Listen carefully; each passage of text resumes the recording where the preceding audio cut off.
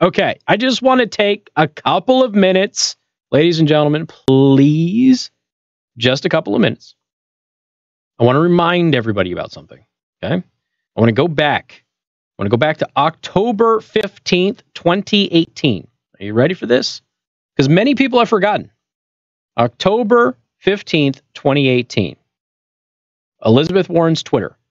By the way, at real Donald Trump, remember saying on 7 5 that you'd give $1 million to a charity of my choice if my DNA showed Native American ancestry?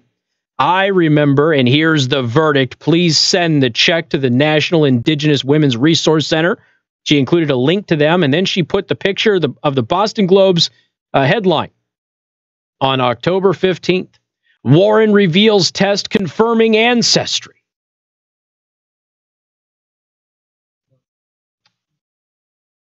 Say it again, Joe.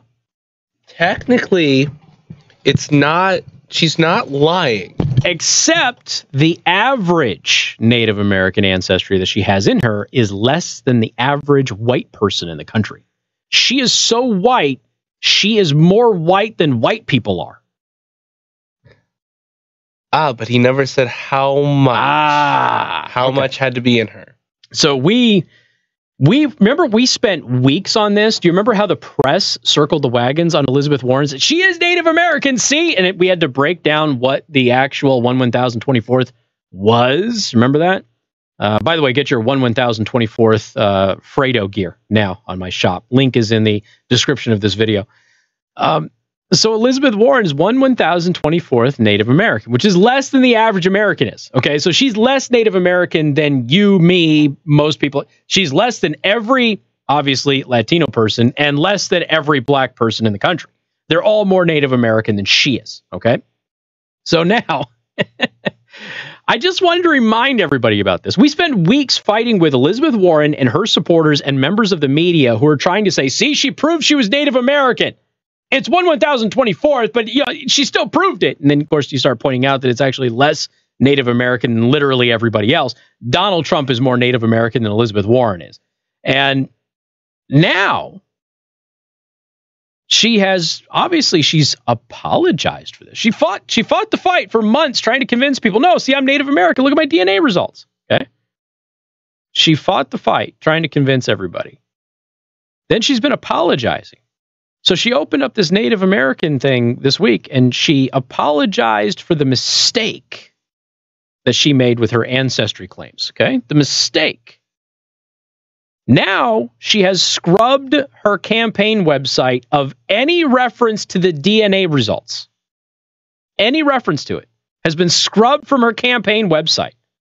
You remember when she went on that uh, that morning zoo show where the the guy asked her if, she was the original Rachel Dolezal. Remember that? Um, so, but I just, I here's the thing. I wanted to remind everybody that as she is apologizing for the air quote mistake, her lie, as she's apologizing for all of this, as we look back at her history and realize that she used that for great career advantage, and as she is now scrubbing her website of her DNA results. I just wanted to remind everybody of just just over a year ago. She was trying to dunk on everybody for this and claiming that her DNA results proved who she was. And simultaneously, while I remind everybody that she put this tweet out there, I also um, am thrilled that it dunks on the Boston Globe running a front page headline of it that she is Native American. She confirmed her ancestry in this this uh, this test. Uh, I just wanted to remind everyone, okay, because it, it's imperative that you remember how dramatically things change in a year. And see, now there's a bunch of people running around. I keep seeing this on social media. A bunch of people running around and going, "Yeah, you know, it was a mistake. It was an accident. Her mom told her this thing. She she didn't know." Okay, but when she got the DNA results, she knew.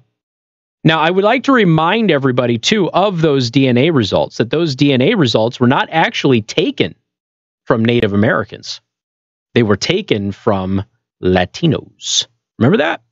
So they, basically, what she did is she shopped around for a DNA person who was not actually a, a forensic DNA analyst, by the way.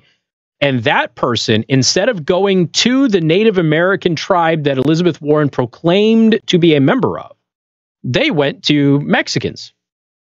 And I think there was some Guatemalans and Hondurans and things like that in there too. And they took blood samples from them and then tried to derive how close they were with the Native American tribe that Elizabeth Warren was proclaiming to be a part of. And then they took Elizabeth Warren's DNA and were able to go ahead and uh, try and put it up against the other DNA. So she, they never did compare her DNA to the tribe that she claimed membership. They, she's basically one one thousand twenty fourth Mexican is basically what it is. So, so they had to game the system to even get to that much. That's how white she is. Nothing wrong with being white there is something wrong with being white and running around pretending you're not.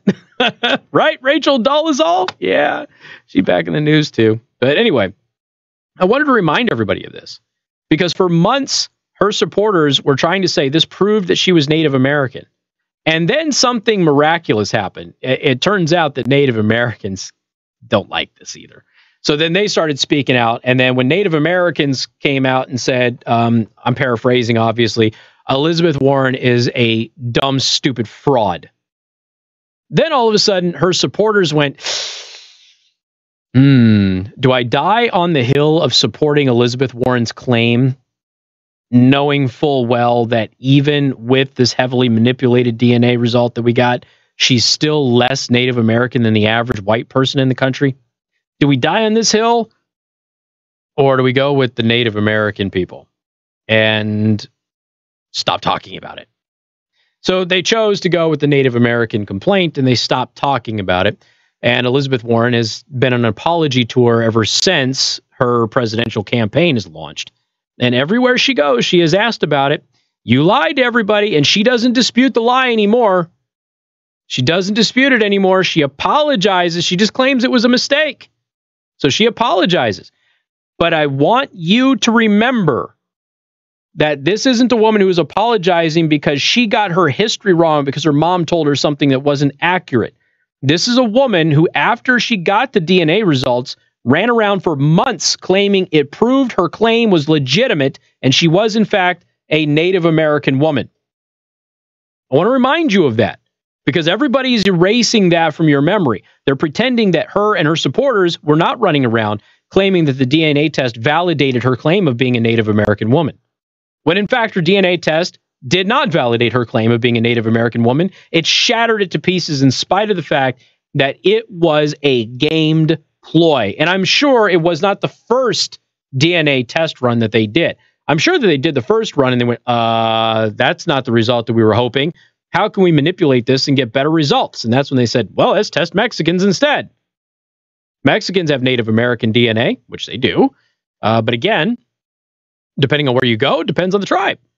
So I want to remind you that as she is scrubbing her campaign website of everything involving her Native American claim and everything involving her DNA, and as she apologized at this Native American event this week, she apologized for the mistake of making the claim that she was a Native American woman. And as she has been on this apology tour, apologizing to this thing for all of these past several months, I want to remind you that just over a year ago, she was still claiming that the DNA results validated her claim, her false claim of being a Native American woman. I want to remind you of that.